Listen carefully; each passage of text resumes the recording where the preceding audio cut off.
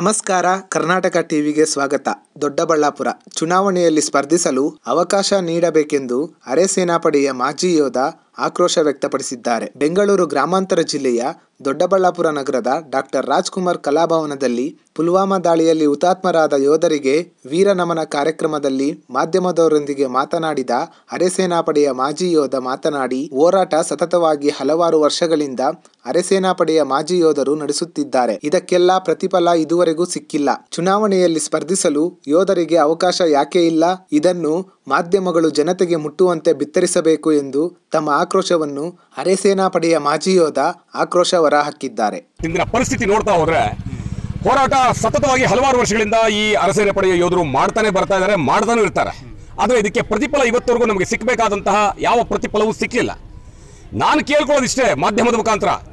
ಮಾಧ್ಯಮ ಇದನ್ನ ಹೆಚ್ಚಿನ ಮಟ್ಟದಲ್ಲಿ ಇದನ್ನ ಬಿತ್ತರಿಸಿ ಜನತೆಯ ಮನದಾಳದಲ್ಲಿ ಇದನ್ನ ತಲುಪಿಸುವಂತ ಕೆಲಸ ಮಾಡಿ. ನಾನು ಕೇಳೋದು, ಯೋಧರಿಗೆ ಇವತ್ತಿನ ಸವಲತ್ತು ಬೇಕು, ಅದರ ವಿರುದ್ಧವಾಗಿ, ಅದರ ಪರವಾಗಿ ಧ್ವನಿ ಎತ್ತಕ್ಕೆ ಇವತ್ತಿನ ಭಾರತದ ಸಂವಿಧಾನದಲ್ಲಿ, ಸಂವಿಧಾನದ ಪ್ರಕಾರ ಎಲ್ಲ ಜಾತಿ ಆಧಾರಿತವಾಗಿ, ಧರ್ಮಾಧಾರಿತವಾಗಿ ಇವತ್ತಿನ ಚುನಾವಣೆ ಸ್ಪರ್ಧಿಸಲಿಕ್ಕೆ ಪ್ರತಿಯೊಬ್ಬರಿಗೂ ಅವಕಾಶ ಇದೆ ಅನ್ಬೇಕಾದ್ರೆ ಒಬ್ಬ ಯೋಧ ಅನ್ನುವಂತಹ ಒಂದು ಜಾತಿ ಮತ್ತೆ ಆ ಕುಟುಂಬಕ್ಕೆ ಇವತ್ತರೆಗೂ ಯಾವುದೇ ಒಂದು ಪಕ್ಷವೂ ಕೂಡ ಅವಕಾಶ ಮಾಡಿಕೊಟ್ಟಿಲ್ಲ ಮಾಡಿಕೊಟ್ಟಿಲ್ಲ ಅಂದ್ರೆ ಯಾಕೆ ಮಾಡಿಕೊಟ್ಟಿಲ್ಲ?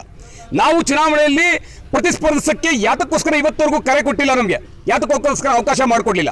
ನಾನು ಕೇಳ್ತೇನೆ, ಇವತ್ತಿನ ಸಂಸದಲ್ಲಿ ನಮ್ಮ ಪರವಾಗಿ ಸಂಸತ್ ಭವನದಲ್ಲಿ ದನಿ ಎತ್ತುವಂತಹ ಒಬ್ಬ ಒಬ್ಬ ರಾಜಕಾರಣಿ ನಮ್ಮ ಪರವಾಗಿ ಒಬ್ಬ ಇದ್ದಿದ್ರೆ ನಿಜವಾಗ್ಲೂ ನಮಗೆ ಸಿಕ್ಕಬೇಕಾದಂತಹ ಸವಲತ್ತು ಖಂಡಿತವಾಗ್ಲೂ ಸಿಗ್ತಾನೆ ಇತ್ತು. ಒಬ್ಬ ವ್ಯಕ್ತಿ ಚುನಾವಣೆಯಲ್ಲಿ ಸ್ಪರ್ಧಿಸಲಿಲ್ಲ ಅನ್ನೋ ಕಾರಣಕ್ಕೆ ಇವತ್ತಿನ ಈ ನೋವನ್ನ ನಾವು ರಾಜಕಾರಣವಾಗಿ, ರಾಜಕಾರಣದಿಂದ ಇಚ್ಛಾಶಕ್ತಿ ರಾಜಕಾರಣದಿದ್ದರೆ ಇವತ್ತಿನ ದಿನ ಯಾವ ರೀತಿಯಲ್ಲಿ ಏನು ಬೇಕಾದರೂ ಬದಲಾವಣೆ ಆಗ್ಬೋದು. ರಾಜಕಾರಣದಲ್ಲಿ ನಾವು ಇಲ್ದೇ ಇರೋದು ಒಂದೇ ಒಂದು ಅವರಿಗೆ ಸಿಕ್ಕಿರುವಂತಹ ಅಡ್ವಾಂಟೇಜು ನಮ್ಮನ್ನ ಯೂಸ್ ಮಾಡ್ಕೋತಾ ಇದ್ದಾರೆ ಆದರೆ ನಮಗೆ ಸಿಕ್ಕಬೇಕಾದಂತಹ ಸವಲತ್ತಿನಿಂದ ವಂಚಿತರಾಗಿ ಮಾಡ್ತಾ ಇದ್ದಾರೆ. ನಾನು ಕೇಳ್ಕೊಳ್ಳೋದು ದಯಮಾಡಿ ಮುಂಬರುವಂತಹ ಚುನಾವಣೆಯಲ್ಲಿ ಹೆಚ್ಚಿನ ಮಟ್ಟದಲ್ಲಿ ಈ ಅರಸೇನೆ ಪಡೆಯ ಯೋಧರು, ಸೇನೆಯ ಯೋಧರು ಚುನಾವಣೆಯಲ್ಲಿ ಸ್ಪರ್ಧಿಸಿ ಅವರ ಸ್ವಂತ ಸ್ವಂತ ಬಲದಿಂದ ಗೆದ್ದು ಇವತ್ತಿನ ದಿನ ರಾಜ್ಯ ಸರ್ಕಾರಕ್ಕೆ ಕಿವಿ ಹಿಂಡಿ ಅವರಿಗೆ ಜಾಗಟೆ ಬಾರಿಸಬೇಕಾದಂತಹ ಸನ್ನಿಹಿತವಾದ ಪರಿಸ್ಥಿತಿ ಒದಗಿ ಬಂದಿದೆ ಖಂಡಿತವಾಗಲೂ ಬನ್ನಿ ಚುನಾವಣೆಯಲ್ಲಿ ಸ್ಪರ್ಶಕ್ಕೆ ಧೈರ್ಯ ಮಾಡಿ. ಬಹಳ ಸಮೀಪ ಇದೆ. ಸಮೀಪ ಇದೆ. ಇವತ್ತಿನ ದಿನ ರಾಜಕಾರಣ, ರಾಜಕಾರಣದಲ್ಲಿ ಬದಲಾಗದ ಹೊರತು ನ್ಯಾಯ ಸಿಕ್ಕಲ್ಲ ಅನ್ನೋದು ನಮಗೂ ಚೆನ್ನಾಗಿ ಗೊತ್ತಿದೆ. ಇಷ್ಟನ್ನು ಮಾತ್ರ ಹೇಳಲಿಕ್ಕೆ ಬಯಸ್ತೇನೆ ನಾನು. ಜೈ ಹಿಂದ್. ನಮಸ್ಕಾರ. ಮುಂಬರುವಂತಹ ಚುನಾವಣೆಯಲ್ಲಿ ಹೆಚ್ಚಿನ ಮಟ್ಟದಲ್ಲಿ ಈ ಅರಸೇನೆ ಪಡೆಯ ಯೋಧರು, ಸೇನೆಯ ಯೋಧರು ಚುನಾವಣೆಯಲ್ಲಿ ಸ್ಪರ್ಧಿಸಿ ಅವರ ಸ್ವಂತ ಸ್ವಂತ ಬಲದಿಂದ ಗೆದ್ದು ಇವತ್ತಿನ ದಿನ ರಾಜ್ಯ ಸರ್ಕಾರಕ್ಕೆ ಕಿವಿ ಹಿಂಡಿ ಅವರಿಗೆ ಜಾಗಟೆ ಬಾರಿಸಬೇಕಾದಂತಹ ಸನ್ನಿಹಿತವಾದ ಪರಿಸ್ಥಿತಿ ಒದಗಿ ಬಂದಿದೆ. ಖಂಡಿತವಾಗಲೂ ಬನ್ನಿ ಚುನಾವಣೆಯಲ್ಲಿ ಸ್ಪರ್ಶಕ್ಕೆ ಧೈರ್ಯ ಮಾಡಿ. ಬಹಳ ಸಮೀಪ ಇದೆ. ಸಮೀಪ ಇದೆ. ಇವತ್ತಿನ ದಿನ ರಾಜಕಾರಣ, ರಾಜಕಾರಣದಲ್ಲಿ ಬದಲಾಗದ ಹೊರತು ನ್ಯಾಯ ಸಿಕ್ಕಲ್ಲ ಅನ್ನೋದು ನಮಗೂ ಚೆನ್ನಾಗಿ ಗೊತ್ತಿದೆ.